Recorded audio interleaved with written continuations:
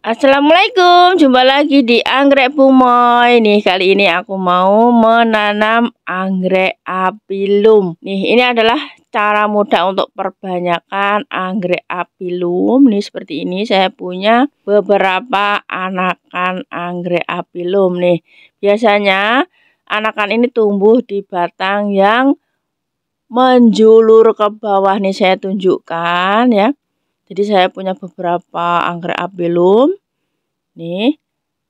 Nah, anggreknya itu menjuntai ke bawah seperti ini. Ini bekas pasca bunga. Biasanya daunnya rontok ya. Rontok dulu kemudian baru berbunga. Nah, nah biasanya di uh, batang yang menjulur gundul seperti ini itu biasanya akan tumbuh tunas. Nih lihat seperti ini. Nah, ini masih kecil ya.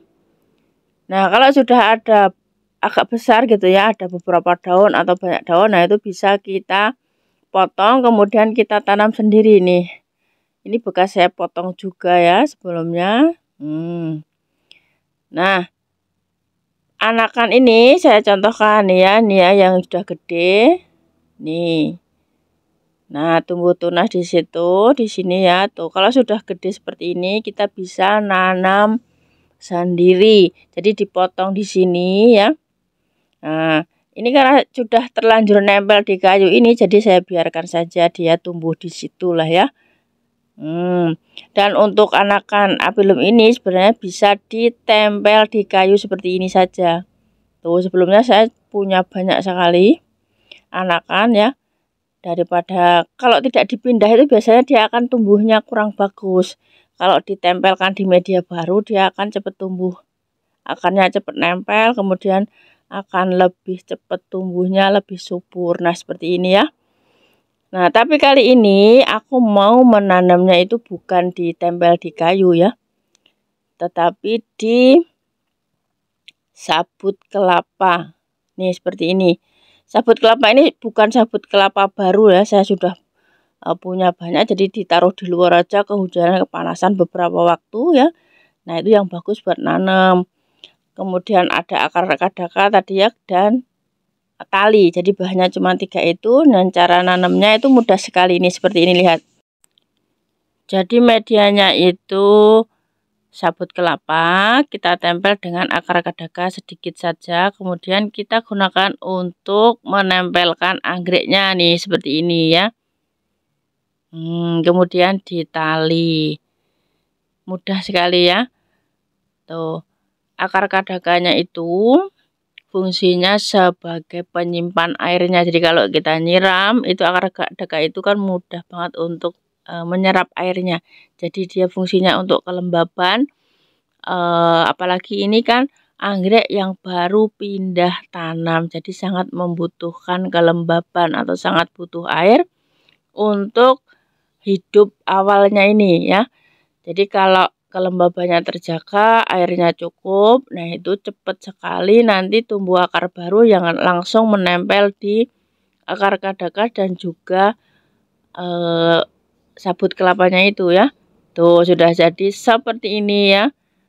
Hmm. Lanjut ke yang berikutnya ini videonya saya cepatkan biar nggak bosan sambil saya jelaskan gitu ya.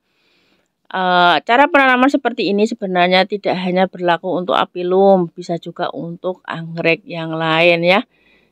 Jadi anggrek itu mudah sekali sebenarnya cara tanamnya. Hanya kita harus sabar. Kalau nunggu berbunganya ya itu memang harus sabar.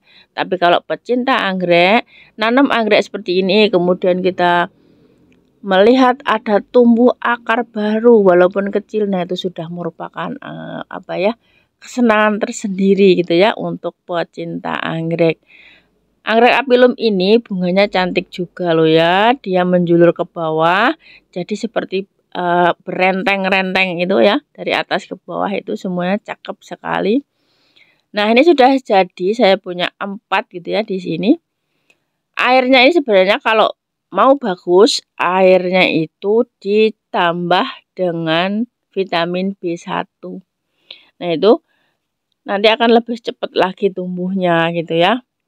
Nah, kalau sudah seperti ini kemudian kita beri nih kawat kawat berbentuk es seperti ini ya untuk e, mencantolkan ke paku atau ke apa ya kawat-kawat streaming itu bisa juga ya nah soalnya nanti ini kalau saya itu mau saya tempel di dinding.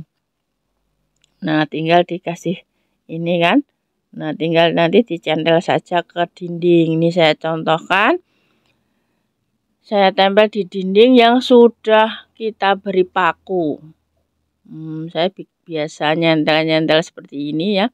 Anggrek apa saja. Kadang anggrek merpati anggrek kuku macan anggrek dendro larat dan lain sebagainya itu cara perbanyakannya seperti ini. Jadi jaraknya karena masih kecil ya kita ah, buat pendek-pendek seperti ini biar kalau nyiram juga lebih mudah ya.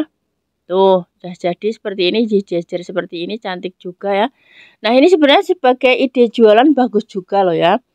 Kalau nanti sudah tumbuh akarnya sudah tumbuh sudah nancep ke medianya itu nah itu layak atau siap untuk dijual ya. Dijualnya sama medianya biar nggak stres sampai ke tempat pembelinya itu. Oke?